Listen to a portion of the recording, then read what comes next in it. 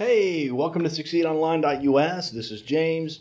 Been a web developer and internet marketer for 19 years. I am also a network marketing professional, and today I wanted to show you a really cool trick with Facebook.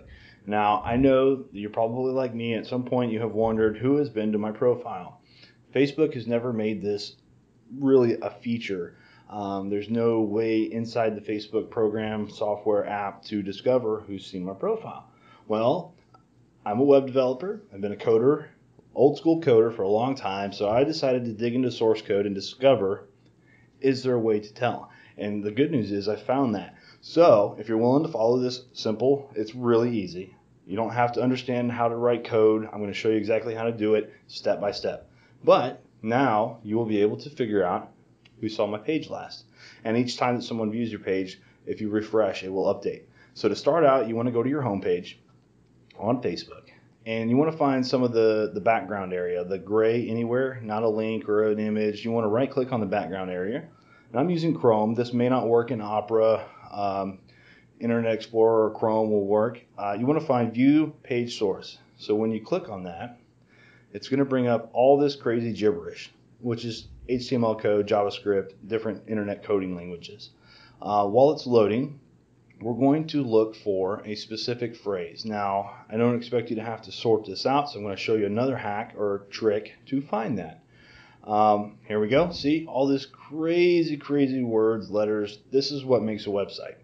All right, so some of you may be aware, but we want to use the find or search feature built into Chrome, which is Control F, as in Foxtrot, and that pops up this window here, and you'll see I've already typed initial chat. That's the keyword we're looking for, initial chat and it highlights it. Wow, look at that. I'd already scrolled pretty close to it. Okay, this is a an array, an array of the user IDs that have viewed your page recently. So you want to follow this over where it says group, past that, on to participants, colon, and all of these numbers on the next line after that are user IDs of people that have viewed my profile recently in the order that they last looked at it, starting with the most recent down to the last people, and I'm not sure how far back that goes, probably for today. So let's grab that, we, we highlight that, and we hit Control C or copy, and then we go to our Facebook profile, and you just want to replace your username with that ID. And then when you hit enter, it shows us who looked at my page last. Now, how cool is that? Now, let's go back to the source code. Every single one of these is a unique ID. So you can grab each one of those unique IDs and replace it after your username.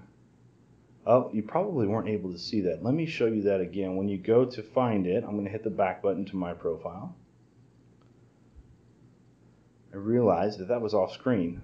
You take that UID and you put it in place of your name in the profile, just like that, and hit enter. And boom, shows you who it was. Now you know how to figure out who's been spying on you in Facebook. cool trick, huh? All right, thanks for joining in. Be sure to subscribe to the YouTube channel. Check out my blog, succeedonline.us, and hope you have fun with this. Share it with your friends, your family. Let people know. Now you have a way to figure out who's been stalking you on Facebook. Love you guys always. Talk to you soon. Bye bye.